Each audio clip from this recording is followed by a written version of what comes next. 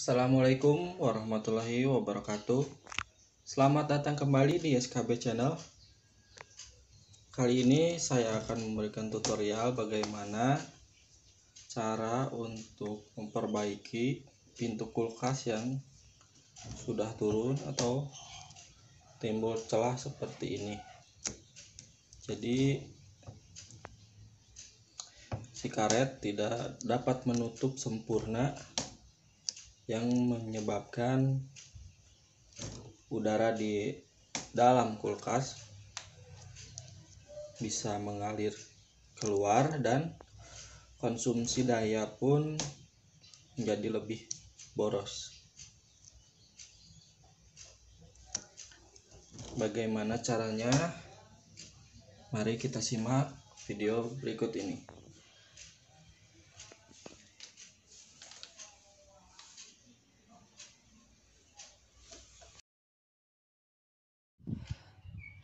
Oke, yang pertama kita siapkan kunci 8 untuk membuka engsel bagian atas. Cara membukanya tinggal didorong. Lalu kita buka dua baut yang berada di atas engsel ini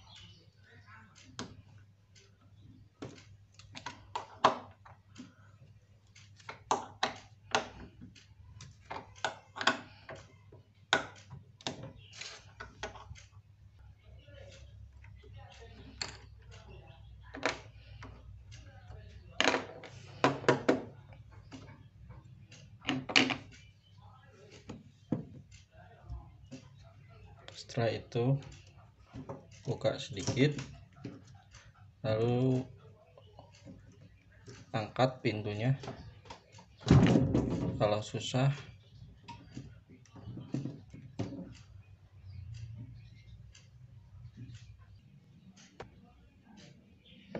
kalau susah posisi ini kita cokel memakai obeng minus sambil mengangkat pintu kulkas. Kita congkel sedikit. Ini. Sehingga pintu kulkasnya bisa terbuka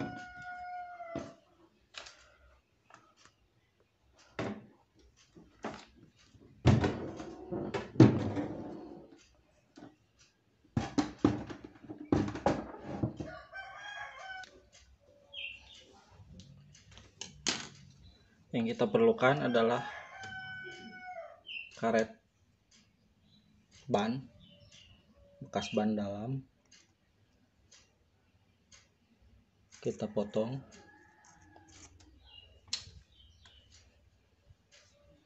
Kita buat lubang dan kita bikin ring sehingga posisinya sehingga sehingga bentuknya pas untuk menambah atau mengganti ring yang sebelumnya. Seperti ini. Kita gunting.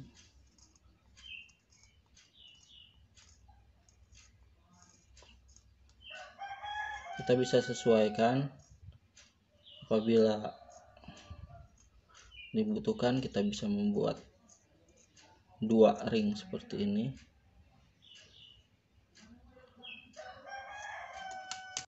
Oke sob, kita buat satu lagi ringnya dari tutup botol aqua bekas, botol minum bekas.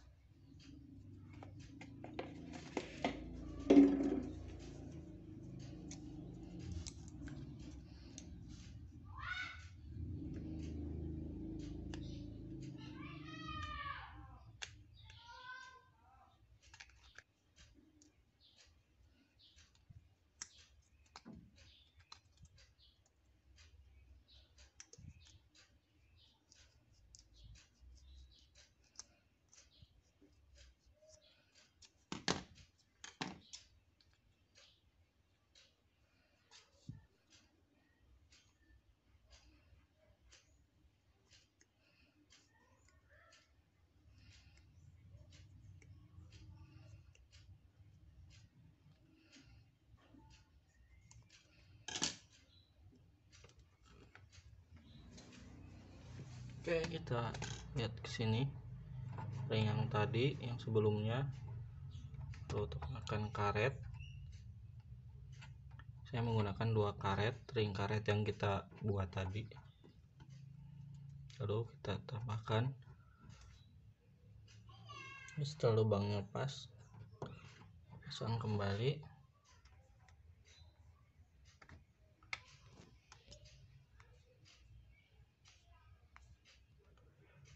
lalu kita pasang pintu kulkasnya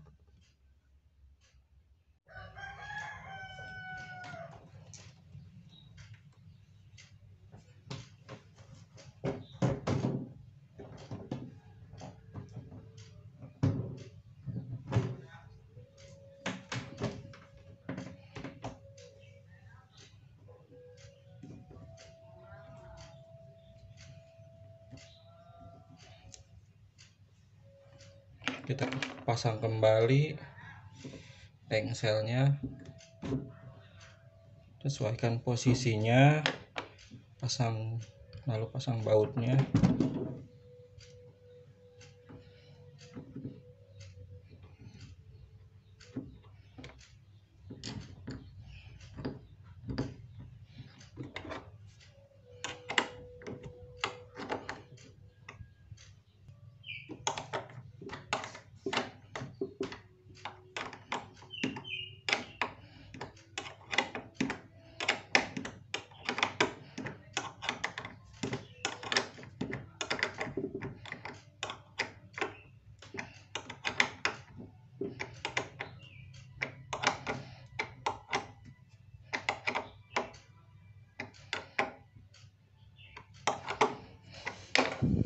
lalu kita pasang kembali penutupnya.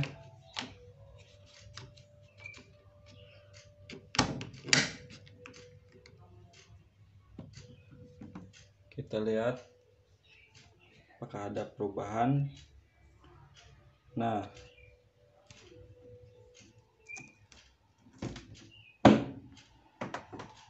oke. Sekarang karetnya sudah tertutup rapat. Tidak ada celah lagi.